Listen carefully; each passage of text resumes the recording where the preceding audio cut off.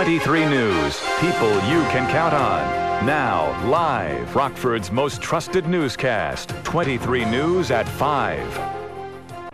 Pursuing better health is one of the most popular New Year's resolutions, but did you know research shows 70% of Americans give up on that resolution before they even start? But 23 News reporter Natalie Kaplan is here to tell us about a way to stay motivated. Natalie?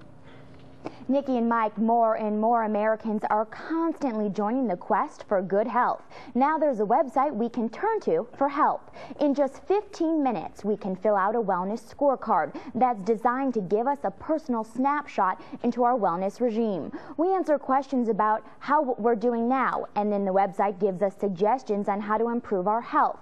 I spoke with one of the wellness experts on the site that said we need to put thought into our goals and how we're going to achieve them. So I always say educate, so, you know, learn everything you can about your goal. The other thing is evaluate, know your starting point, and then execute, plan. So have a plan about how you're going to get from point A to point B.